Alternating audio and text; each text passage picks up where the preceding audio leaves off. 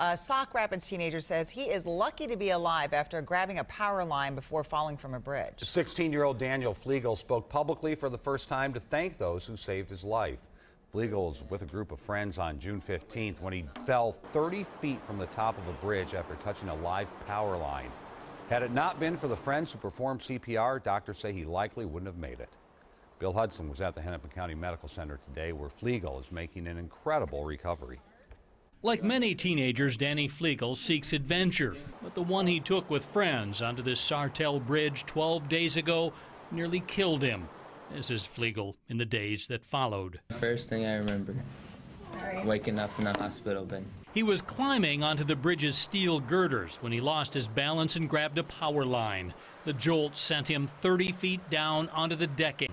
Madison Damaris called 911. She um, yelled over to me that he stopped breathing, and I told the dispatcher, and she told us, walked us through how to give CPR. The two girls kept it up, doing chest compressions and short breaths. Nothing was really going through my head. It was all just kind of like a blur, like, we need to save this kid's life.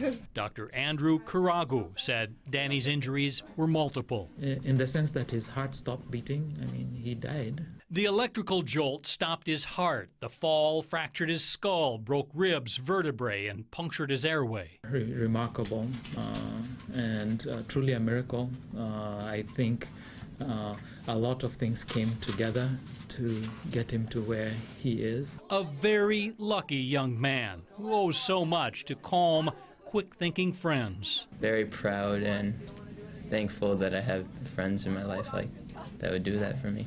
And with them at his side, Danny Flegel's on a new adventure called The Road to Recovery.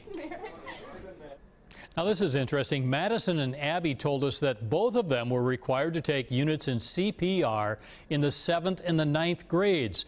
Dr. Kiragu made it uh, very clear that their actions probably made this outcome possible. Danny will soon transfer to the St. Cloud Hospital where he's going to continue some intense therapy, a lot of rehabilitation ahead for him, but it's just an amazing story. It really is Lucky incredible. boy. Very, very lucky man, yep. All right. Thank you, Bill. Sure thing.